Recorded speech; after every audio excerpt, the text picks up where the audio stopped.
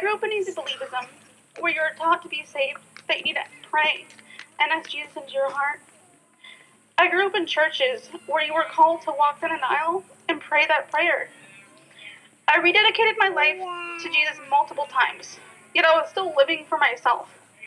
I really thought I would go to heaven. I was baptized at 12. Um, um, and I thought I was good because I prayed that prayer. Um, I thought I could live any way I wanted and have Christ.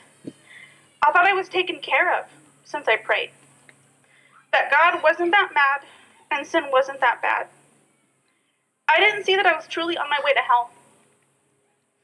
Then um, later on, someone who went to the church shared the gospel with me and showed me my sin. I was still hesitant to say that I was lost. Um, and I thought everyone else was just extreme. Um, I didn't truly see my wickedness of my sin or my depravity. I was still clinging to my prayer and not the Lord. Um, eventually, I realized I wasn't saved. Um, yeah, eventually, I realized I wasn't saved. But instead of turning to the Lord, I went deeper into my sin. Eventually, the Lord opened my eyes that I was the one who was wrong and that I needed Him. I came to Cornerstone and attended for years and struggled with assurance um, and apathy.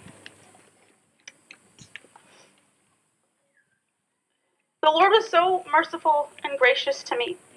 He showed me through the ladies in my small group that I was um, trusting in my works. I was constantly, I would constantly be looking at my performance and comparing myself to others. I wasn't looking to Christ. I was trying to do things in my own strength. I don't know the exact time I got converted, but the Lord has graciously changed my heart. Amen. I say the Lord died for me. It wasn't just for other people, but it was for me. I now look to Christ for all things and trust solely in Him. I know I can't save myself, and it's only through His finished work on the cross that I am forgiven. The Lord has given me a new heart to hate the things I used to love and love the things I used to hate. I have a love for the Lord and a love for His gospel I didn't have before. Wicked things I used to find funny or enjoy, I don't anymore. My desire is to live for the Lord and not for myself. And I pray if there's anyone here not converted, that they would turn from their sin and trust in Christ alone. He's mighty to save. Oh, Hannah!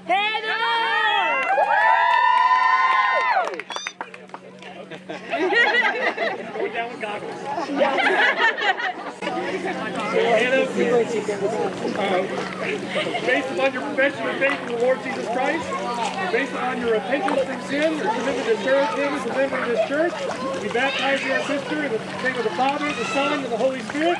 Buried with Christ in baptism.